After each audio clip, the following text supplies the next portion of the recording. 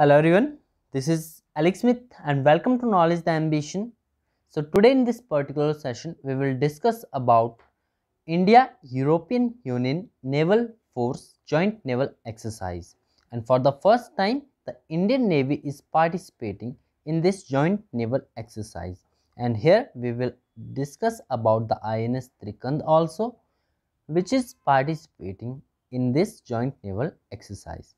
So let's start for the first time, the Indian Navy is participating in the India European Union Naval Force Joint Naval Exercise, which is EU stands for European Union, NAV Navy, Navy, and FOR Force Joint Naval Exercise with warship from the Italian, Spanish, and French navies. These are the European navies and in the Gulf of the Aden. So this joint naval exercise is being happening in Gulf of Aden and dates are 18th to 19th June.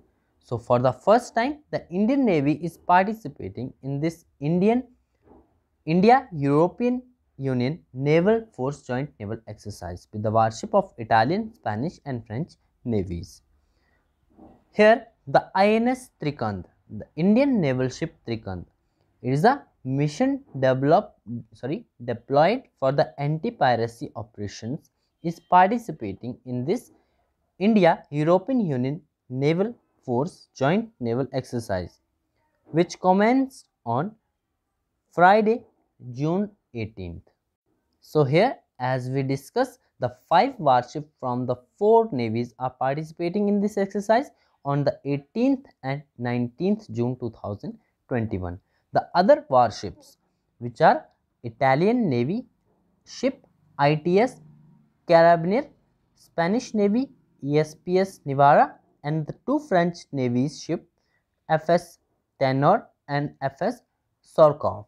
So, so these are the Navy's ships from the other warships. The Indian Navy said in his official statement and from the India the INS Trikand is participating in this joint naval exercise. This is a two-day exercise and will see a high temporal naval operation at sea including the advanced air defense and anti-submarine exercises, cross-deck helicopters operations, tactical maneuvers, boarding operations, underway replenishment, search and rescue, man overboard drills, and other maritime security operations. Next, up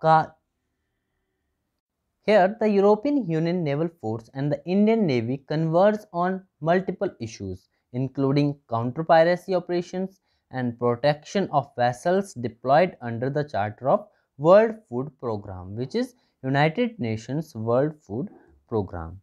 And also the two also which are the European Union Naval Force and Indian Navy also hold regular instructions, sorry, interactions through SHADE. What is this SHADE?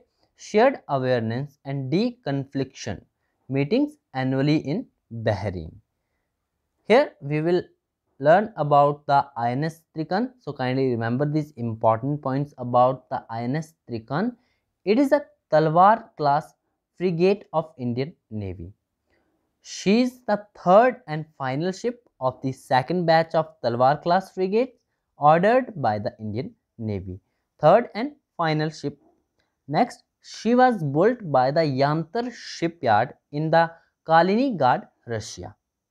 And she was commissioned to Indian Navy service on 29th of June 2013. here you can see the picture of INS Trikand.